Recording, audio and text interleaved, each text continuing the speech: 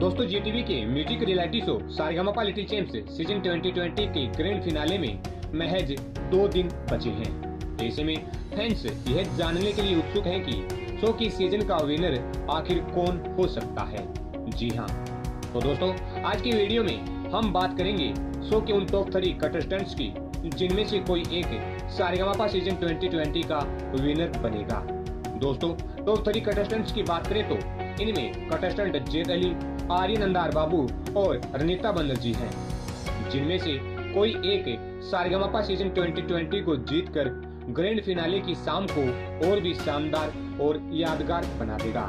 जी हाँ लेकिन दोस्तों, आपको बता दें कि कंटेस्टेंट जेद अली अब मुकाबले में ही नहीं है। जेद के फैंस के लिए यह खबर ज़रूर मायूस करने वाली होगी। ऐसे में कंटेस्टेंट आर्यन अंदार बाबू और रनीता बनर्जी में से कोई एक सारेगामापा सीज़न 2020 का विनर बनने वाला है। जी हाँ जेद अली मुकाबले में क्यों नहीं है, इसका रीजन भी हम आपको बताते हैं।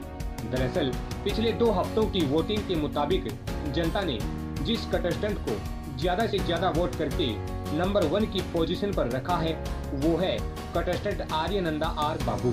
और नंबर टू की पोजीशन पर है कंटेस्टेंट रनिता बनर्जी मतलब फिनाले के दिन आर्यनंदा वर्सेज रनिता का मुकाबला रोचक होने वाला है। देखते हैं कौन किस पर भारी पड़ता है।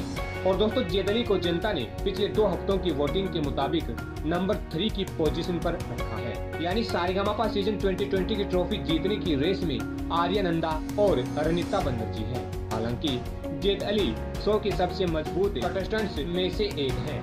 ऐसे में फिनाले के दिन देखने वाली बात यह होगी कि जेद अली आर्यनंदा और रनिता को टक्कर दे पाते हैं या नहीं।